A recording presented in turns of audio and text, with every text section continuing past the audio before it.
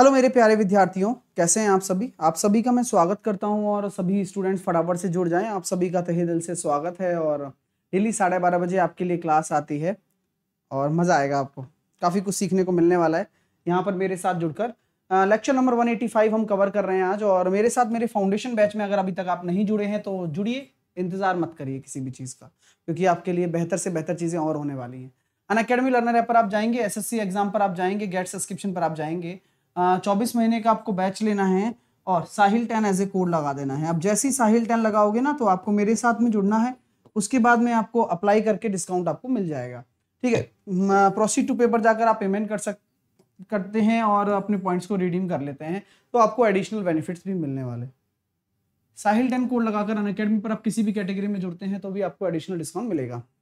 चक्रवर्ती ब्याज हमारा सुबह चला था, आप उसको कवर कर सकते हैं। रात को आठ बजे हमारी जो क्लासेस होती हैं, साढ़े छः बजे जो होती हैं, उन्हें भी आप कवर करिए। ठीक है? ये फ़ाइल गलत लग गई भाई साहब। ऐसा हमें प्रतीत हो रहा है।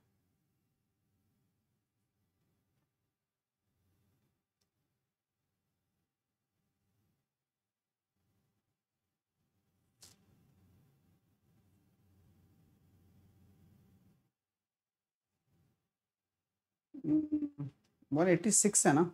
वन एट्टी फाइव लग गया। ओ shit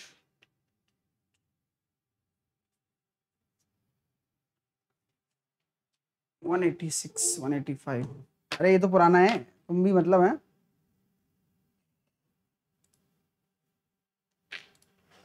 वन एट्टी फाइव वाली कहाँ गई?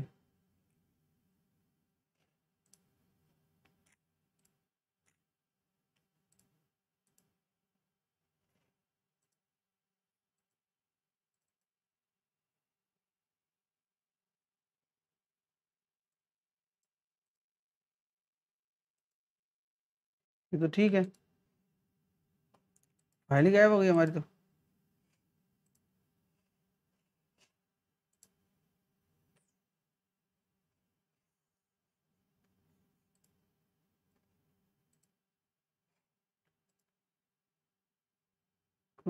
भाई?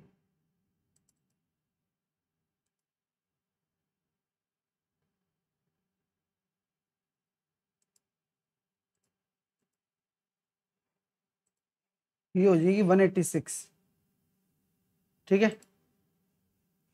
वन एट्टी सिक्स हो जाएगी, है ना? ये वन एटी नाइन कहाँ से आ गया? ये तो ठीक है, मेरे पास जो है वो ठीक है, लेकिन इसमें क्वेश्चंस नहीं हैं। ओके।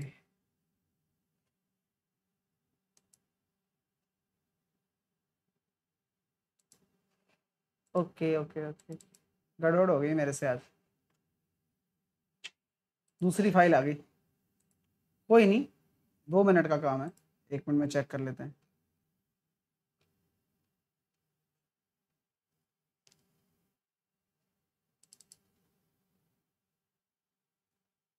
ओके, ये हो गया यहाँ पे काम अपना।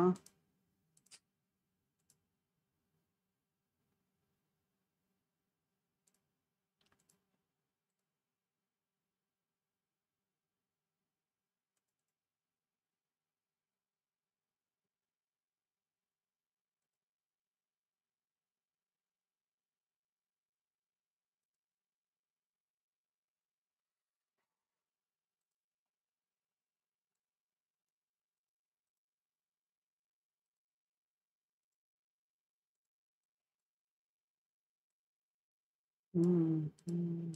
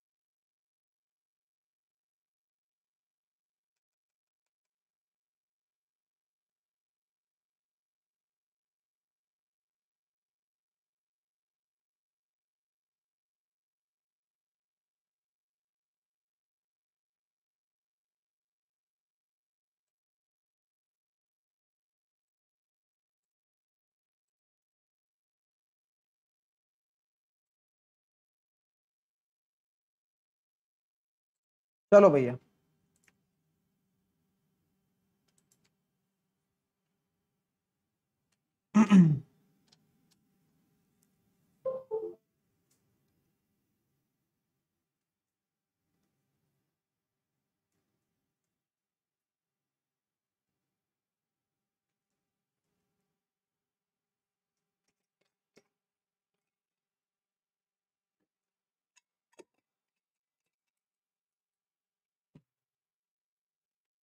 चलिए स्टार्ट करते हैं चीज़ों को। आप मेरे साथ जुड़ जाइए फटाफट से। और ये हमारी क्लासेस हो चुकी हैं। आज शाम को साढ़े छः बजे, रात को आठ बजे मॉक टेस्ट होगा ही। ये क्वेश्चन था। राकेश चक्रवर्ती ब्याज की दर से पाँच परसेंट की रेट पर दो साल के लिए सावधि दस हज़ार रुपए का इन्वेस्टमेंट करता है तो वह धनराशि कितनी हो जाएगी? पाँच परसेंट की बात है, यानी कि एक बटे बीस, यानी कि बीस से इक्कीस और बीस से इक्कीस। आप ये देख सकते हैं कि आप इसको ये मान लें, या फिर मेरा हिसाब ये कहता है कि यार दस हज़ार है ना तो सौ से एक सौ पाँच मान लो। सौ से एक सौ पाँच मान लो। तो ये हो गया दस हज़ार और एक सौ दस पच्चीस। तो दस हज़ार से एक सौ दस पच्चीस आपकी राशि हो जाएगी। इजी था। सक्सेसिवली आप कर सकते थे। ठीक है? नेक्स्ट अज्जू कह रहा है, सर बड़ा टीवी, कभी टीवी भी देख कभी फ़िल्म भी देख लिया करो, खाली पढ़ाते रहते हो। अज्जू भाई। यही है ना अज्जू रेस्पॉन्सिबिलिटी चेंज हो जाती है। पहले देखा करते थे भाई यार, लेकिन अब जैसे दिन भर क्लास रहती है ना तो ये काम नहीं होता। और फिर आदमी मतलब ये कि फिजिकली थकता ही है। और फिजिकली नहीं जैसे टीचिंग ऐसा है कि आप एक भी मिनट के लिए ऐसा नहीं रख सकते कि यार ले भाई, झपकी ले ले। कोई ऑफ़िस में थोड़ी बैठे हैं। पढ़ाना है और एक्टिव रखना पड़ता है क्योंकि समझाना भी पड़ता है। तो अगर मैं देखूँ तो ये थ्री डायमेंशनल काम है। मेंटली फिजिकली और इमोशनली भी आपके साथ जुड़ना पड़ता है। है ना? तभी आप कनेक्ट कर पाते हैं। तो ये बहुत ज़रूरी है। तो इतना आसान नहीं है ये सब चीज़ें, है ना? एक्स माइनस टू इसका एक फैक्टर है तो क्या करेंगे? तो एक्स बराबर दो रखने पर। क्योंकि एक्स माइनस टू अगर फैक्टर है तो एक्स बराबर दो रखने पर आपका ये ज़ीरो हो जाना चाहिए। ठीक है? तो यहाँ पर हम रखेंगे तो दो की पावर चार सोलह या अड़तालीस माइनस ए प्लस टू है ना तो A plus two into eight minus दो दूनी चार माइनस का चार, बराबर शून्य। सब इधर आ जाएगा। या इधर ले लो। अड़तालीस में से अगर आपके सोलह चले गए तो ये A plus two into eight और ये हो गया बत्तीस बटे आठ, चार। तो ए प्लस टू बराबर चार है तो ए बराबर आपका हो गया दो। तो आ गया आंसर। गड़बड़ है? नहीं, आठ, चार और चार, आठ। आठ होगा भाई, सोलह कहाँ से आ गया? ये चालीस हो जाएगा। चालीस बटे आठ, पाँच। तो ये हो जाएगा तीन। तीन तो है। मैं वही कहूँ, गड़बड़ कर दी। सी आंसर होगा इसका। ओके? अब ठीक आ रहा है ना सबका? चलिए। नेक्स्ट। उन्नयन कौन ज्ञात कीजिए? जब पेड़ की ऊंचाई इतनी हो और पेड़ की छाया इतनी हो। आप है ना देख के बता सकते हो। ये सोलह रूट तीन है और ये सोलह है। अब बताओ क्या होगा? जब यहाँ ऐसा एंगल हो जो रूट थ्री बना रहा हो तो ये साठ डिग्री होगा। डी नीलम और मनीषा। सात किलोमीटर, नौ किलोमीटर की चाल से एक ही जगह से दौड़ना शुरू करती हैं। यदि वह एक ही दिशा में चलती हैं तो सोलह किलोमीटर सोलह किलोमीटर दूर जाने में कितना समय लगेगा? दो किलोमीटर का अंतर है। एक घंटे में दो किलोमीटर का अंतर है। सोलह किलोमीटर के लिए आठ घंटे चलना पड़ेगा। सिंपल है, बहुत सिंपल है। आप ये दो देख पा रहे हैं कि एक किलोमीटर में ही दो घंटे का, दो किलो, एक घंटे में ही दो किलोमीटर का फ़र्क आ रहा है। सोलह किलोमीटर का फ़र्क तब आएगा जब वो आठ घंटे की बात चलेगी। नेक्स्ट पहला क्वेश्चन आपके सामने है। आपका समय शुरू कर देता हूँ।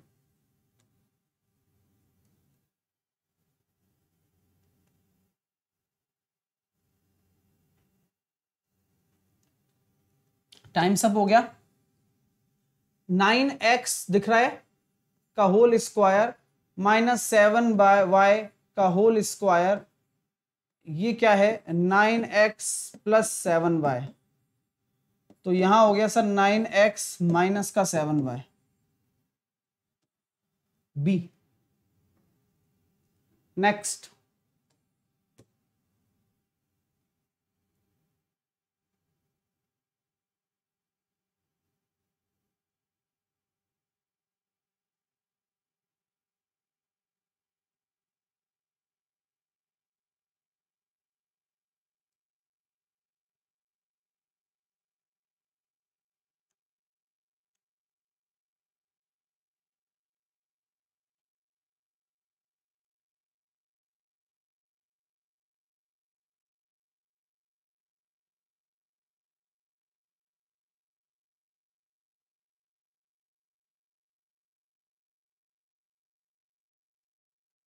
चलिए। इसका आंसर देना था भाई आपको। सात मैचों में बल्लेबाजों द्वारा बनाए गए रन नीचे दिए गए हैं। किस बल्लेबाज का औसत बेहतर था? एवरेज कैसे निकालते हो आप, बताना जरा। एवरेज। सात आपको दे रखे हैं सात बल्लेबाजों में। बताओ भाई, क्या हिसाब किताब रहेगा? तो हम ये कह सकते हैं, कौन सा बल्लेबाज बेहतर है? बेहतर के लिए इन दोनों के एवरेज में आपको देखना है कि बल्लेमा बल्लेबाज वन बेहतर है या बल्लेबाज दो बेहतर है और कितना बेहतर है, ये भी आपको नोटिस करना है। तो उसका एवरेज निकालते हैं, इसका एवरेज निकालते हैं। तो मैं कहता हूँ, देखो यार, ये हो गया साठ। ठीक है? बैट्समैन वन बैट्समैन वन और बैट्समैन टू दो है हमारे पास। बैट्समैन वन की अगर मैं बात कर रहा हूँ तो देखना जरा, इक्यावन और नौ, साठ। साठ और ये हो गया कितना? नब्बे। साठ और नब्बे, डेढ़ सौ। ये वाले भी मैंने कवर कर लिए। नब्बे और साठ, डेढ़ सौ। डेढ़ सौ डेढ़ सौ डेढ़ सौ। और कितना आ रहा है? अस्सी दो सौ तीस, दो सौ तैंतीस, दो सौ तैंतीस और दो दो सौ पैंतीस, दो सौ पैंतीस और चालीस, दो सौ पचहत्तर बटे सात। इसी प्रकार ये कितना आ जाएगा? ग्यारह ये आ रहा है तीन सौ इक्कीस बटे सात। ये जीत गया। और इसका औसत कितना है? सात चौके अट्ठाईस बचे अपने पास चार और सात पंजे पैंतीस। पैंतालीस पॉइंट कुछ एवरेज आ रहा है। बैट्समैन टू जीता है विद औसत पैंतालीस बटे पॉइंट नौ के साथ में। नेक्स्ट देखिए।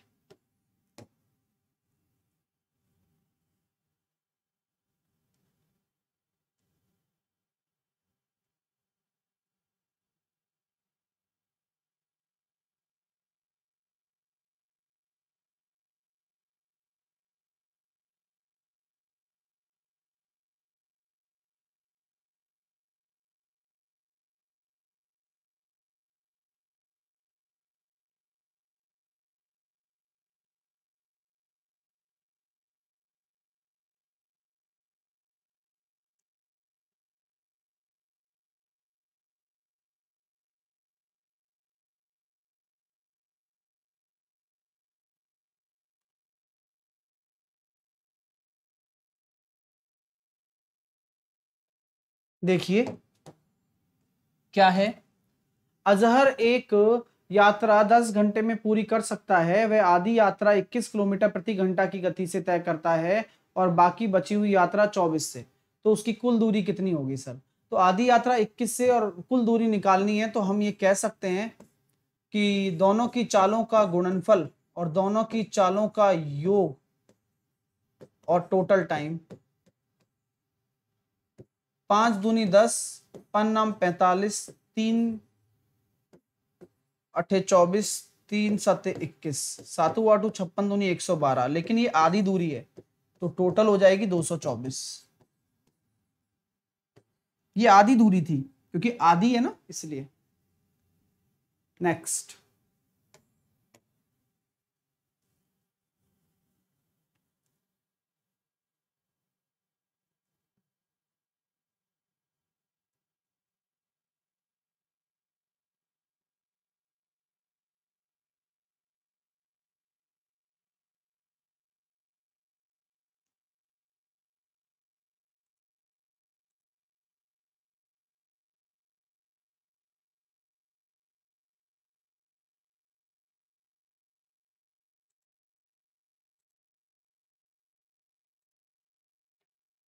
देखिए, एक कैंप में 180 विद्यार्थियों के पास 20 दिन के लिए राशन है।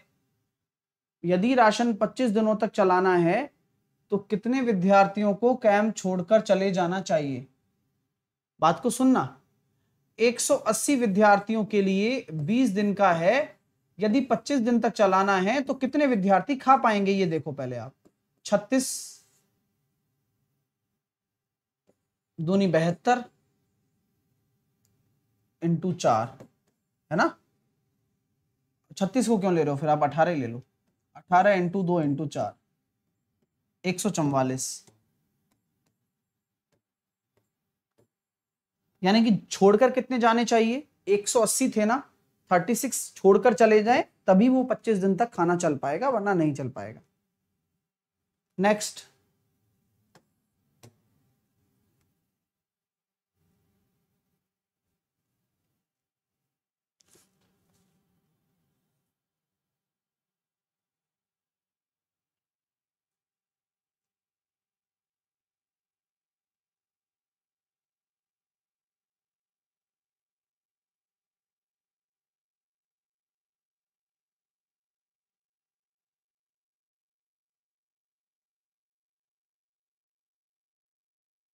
देखिए, वह छोटी से छोटी संख्या जिसको पंद्रह और चौदह के वर्गों के योग में जोड़ा जाना चाहिए ताकि परिणाम स्वरूप प्राप्त संख्या एक पूर्ण वर्ग हो सके।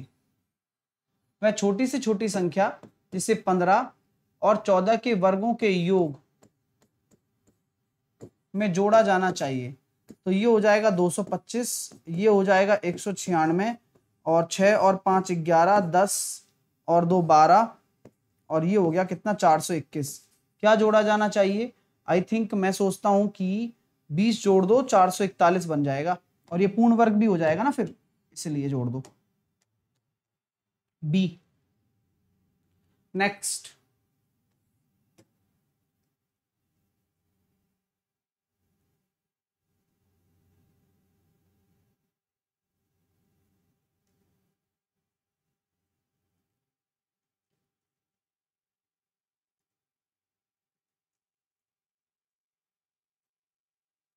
एक आयत का परिमाप आपको 28 दे रखा है। अब आयत का परिमाप होता है दो गुणा लंबाई प्लस चौड़ाई बराबर 28 यानी कि लंबाई प्लस चौड़ाई बराबर आपका कितना निकल कर आ गया? चौदह निकल कर आ गया।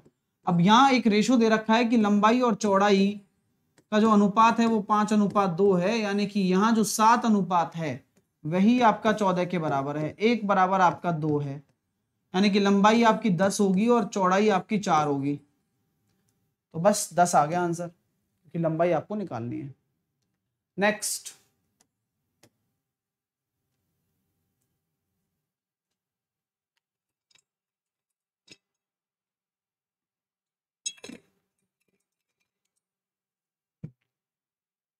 बहुत ही आसानी से कर सकते हैं आप। पीक कहाँ जा रहा है? नौ तक। यानी कि आपको क्या करना है? एक, दो, तीन, चार, पाँच छ सात, आठ, नौ लगा देने एक। और यही आपका आंसर होगा। एक, दो, तीन, चार, पाँच छ सात, आठ, नौ। सी आपका राइट आंसर हो जाएगा।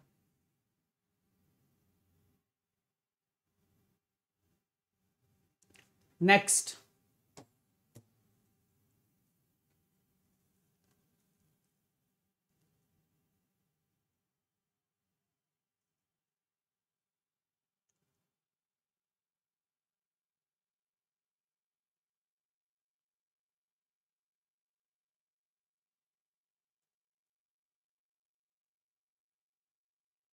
चलो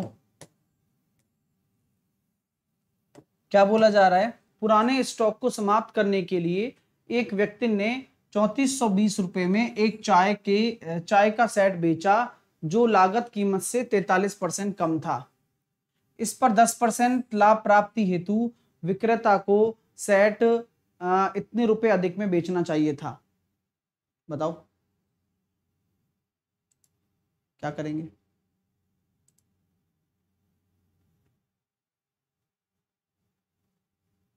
तो हम ये कहते हैं कि भाई पुराने स्टॉक को समाप्त करने के लिए एक व्यक्ति ने चौंतीस सौ बीस में एक चाय का सेट बेचा, जो लागत कीमत से इतना कम है, यानी कि फिफ्टी सेवन परसेंट पर बेच दिया चौंतीस सौ में।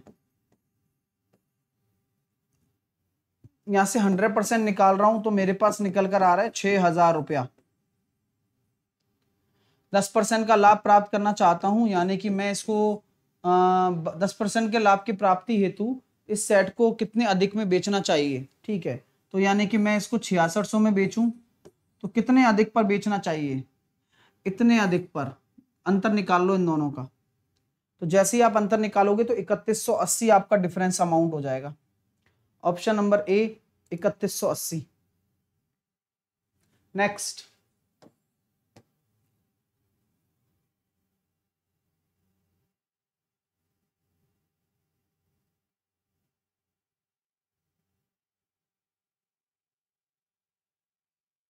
बहुत ही अच्छा क्वेश्चन है। आप ये जानते भी है पहले से ही कि यहाँ A square minus B square आप लगा दोगे तो एक तो A square sine square theta plus cos square theta one हो गया और एक बनेगा cos square theta minus sine square theta क्योंकि A plus B into A minus B है।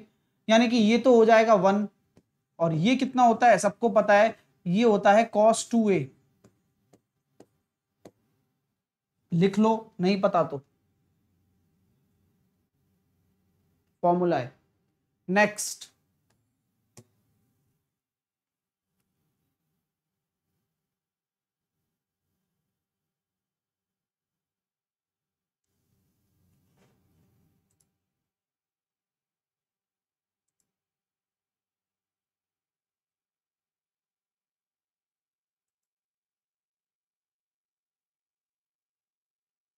देखिए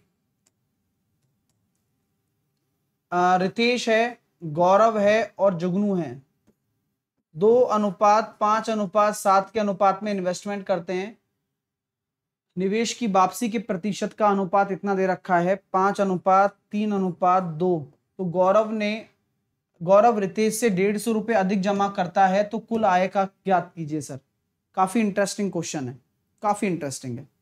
चीज़ें समझना और तभी इसका आंसर आप सही ढंग से दे पाएँगे, है ना? अब आपको बोला जा रहा है कि सर ये क्या है? पाँच, तीन, दो। ये उनका क्या है? रिटर्न इन्वेस्टमेंट है। तो अल्टीमेटली यहाँ जो है ना, मल्टीप्लाई हो जाएगा ये। सात दूनी चौदह दस, पंद्रह और चौदह ये आपका रिटर्न इन्वेस्टमेंट हो गया। ओवरऑल प्रॉफिट का रेशो अब यहाँ हम कह सकते हैं कि गौरव और रितेश का फ़र्क कितना है? पाँच रेशो और पाँच रेशो की वैल्यू डेढ़ सौ के बराबर। एक रेशो की वैल्यू तीस के बराबर तो कुल आय कितनी हो गई? उनतीस, उनतालीस। उनतालीस इंटू तीन।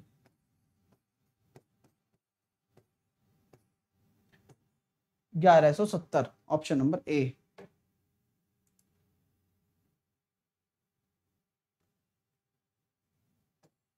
नेक्स्ट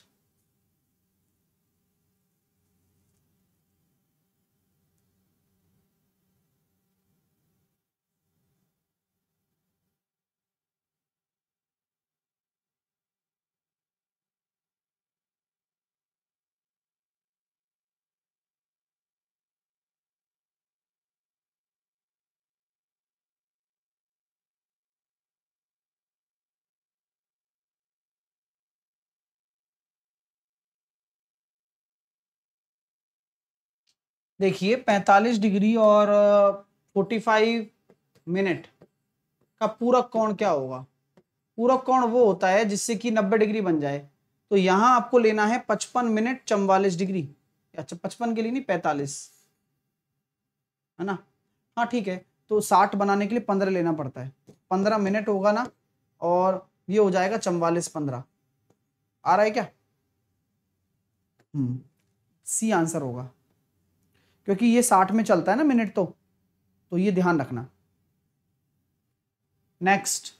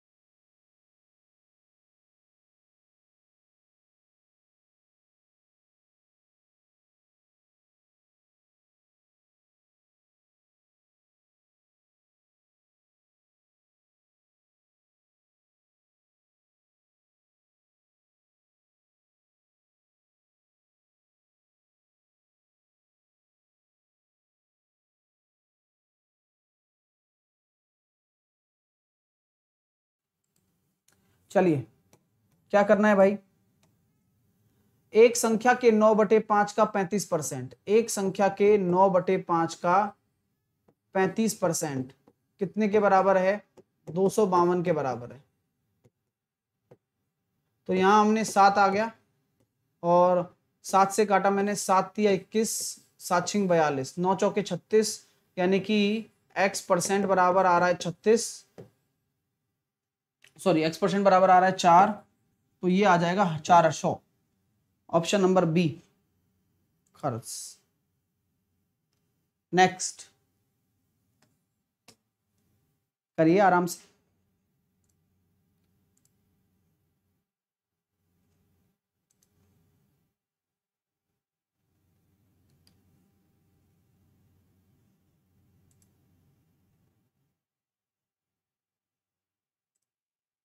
देखिए, जर्सी जेरेमी जेरेमी अपने पिता से 26 वर्ष छोटा है सर।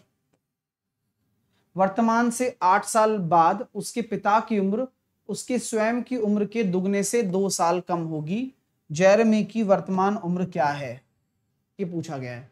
तो जेरेमी अपने पिता से 26 साल छोटा है। वर्तमान से आठ साल बाद उसके पिता की उम्र उसकी स्वयं की उम्र के दुगने से दो साल कम। सिंपल ले लो। जेरमी को मान लीजिए आप एक्स उसके पिताजी हो जाएँगे 26 साल बड़े। वर्तमान से आठ साल बाद उसके पिता की उम्र। उसके स्वयं की उम्र के दुगने से दो वर्ष कम है। यानी कि कहानी बिल्कुल अच्छी है, सुंदर भी है, छत्तीस बराबर एक्स तो जेरेमी की वर्तमान उम्र कितनी हो गई? सही है ना? उसकी स्वयं की उम्र के दुगने से तो स्वयं की कब? आठ साल बाद हो सकता है। दो साल कम है। यही फ़र्क होगा और क्या? देख लेते हैं। X प्लस छब्बीस प्लस आठ बराबर टू एक्स प्लस सोलह माइनस का दो। अगर ऐसा है तो दो दस और दस बीस तो एक्स बराबर बीस, ये सही है क्या? हाँ ये ठीक है। तो ये कहानी है, क्योंकि वर्तमान नहीं बोला तो हमें आठ साल बाद का इसका मानना पड़ेगा।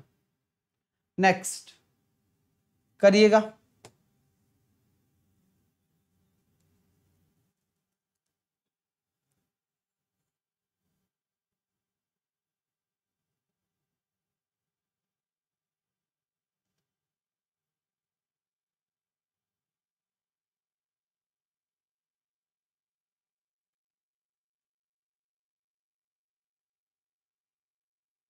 नेक्स्ट पाँच सौ तेरह, ग्यारह सौ सात सात सौ तिरासी का मैसेज पे क्या है? हमेशा मैसेज पे के लिए मैंने क्या बताया? Minimum difference. तो यही दोनों दे पाएँगे। तो बस वहीं से ही आपको लिंक पता लगेगा कि क्या एस होगा। क्योंकि बड़े बड़े बड़ा बड़ा होता है तो नहीं पता लगता है। तो ये हो गया सर दो, और ये हो गया कितना? तीन सौ चौबीस। अब तीन सौ चौबीस है सर। अब 324 यहाँ किससे डिविजिबल हो सकता है सोचो आप।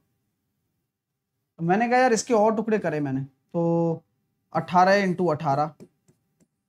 फिर मैंने लिखा नौ दूनी अठारह, नौ दूनी अठारह। अब मुझको एक चीज़ दिख रही है कि नाइन तो आएगा तो नाइन केवल इसी में है डी केवल डी में है। क्योंकि नाइन है तो वही एग्जिस्ट करेगा ना एस वरना और कुछ हो नहीं सकता भाई। इसलिए कोई टुकड़े नहीं करने, आप जो भी मिनिमम डिफरेंस हो ना उसी के टुकड़े करो और फिर वहीं से पता करो कि कौन सा आपका फैक्टर निकल के आ रहा है। समय सीमा शुरू, मैं बता देता हूँ कि ये आपका डिवीज़न है, ये भी आपका डिवीज़न है और ये भी आपका डिवीज़न है और ये भी आपका डिवीज़न है। अब करिए आप, बाकी आपके प्लस हैं सारे।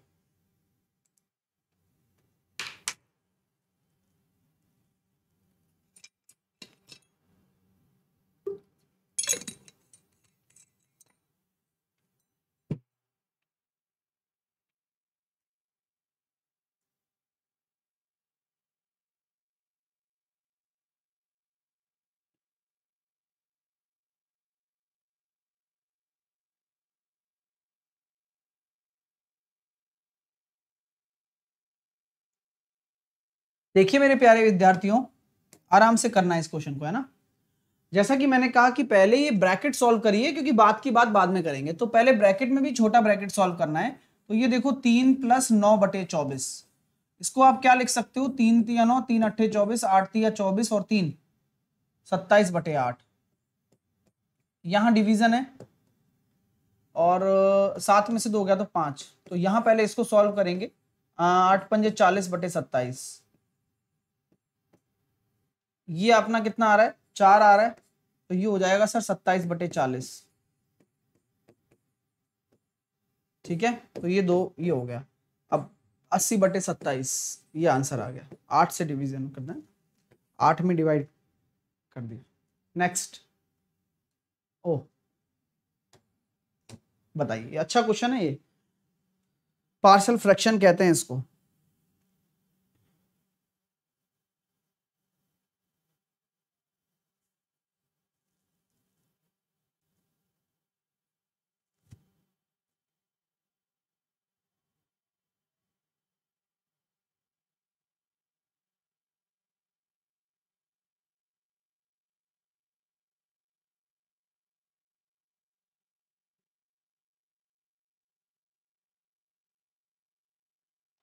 देखिए सर पार्सल फ्रैक्शन क्या कहलाता है? उस पर थोड़ा सा फोकस करिएगा, क्योंकि नया कॉन्सेप्ट है, आप लोगों में से बहुत कम को आता होगा।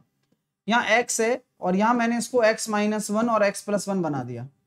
पार्सल फ्रैक्शन के हिसाब से अगर इसको आप सॉल्व कर रहे हो तो ये ए हो गया और ये एक्स माइनस वन और B upon X plus one यही बात सही है ना?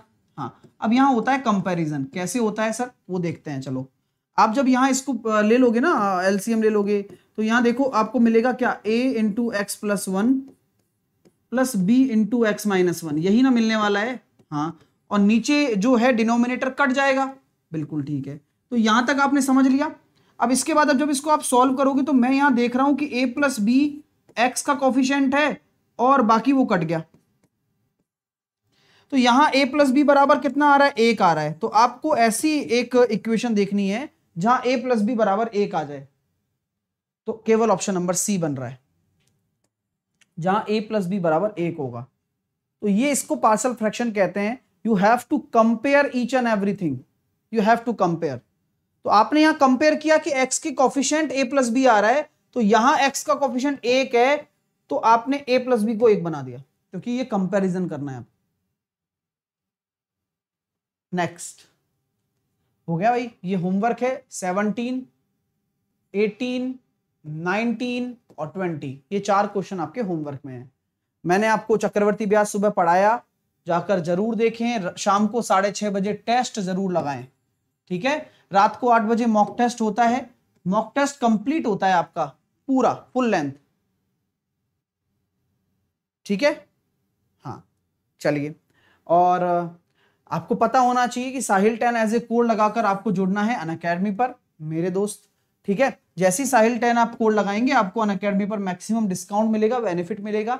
सी, सभी एग्ज़ाम्स की प्रिपरेशन में करा रहा हूँ एक ही कोर्स में। तो बार बार दस कोर्स नहीं पढ़ने आपको एक पढ़ना है और अच्छे से पढ़ना है, बाकी सारी सब्जेक्ट आपको मिलेंगी। एसएससी एग्ज़ाम पर जाएँगे गेट सब्सक्रिप्शन पर जाएँ 24 महीने का बैच लें और Sahil ten as a code लगा दें। अब जैसी साहिल टेन लगाओगे प्रोसीड टू पेपर चले जाना अप्लाई कर देना डिस्काउंट आपको मिल जाएगा। Ask it out feature raise and feature सब कुछ मिलेगा। ठीक है? ये टेलीग्राम है, यहाँ आप मेरे से कनेक्ट हो सकते हैं और पढ़ाई कर सकते हैं। लाइक करिए शेयर करिए। अभी पाँच बजे फाउंडेशन होगा, साढ़े छह बजे टेस्ट होगा, रात को आठ बजे मॉक टेस्ट होगा। All the very best take care love you all और हैप्पी नवरात्र।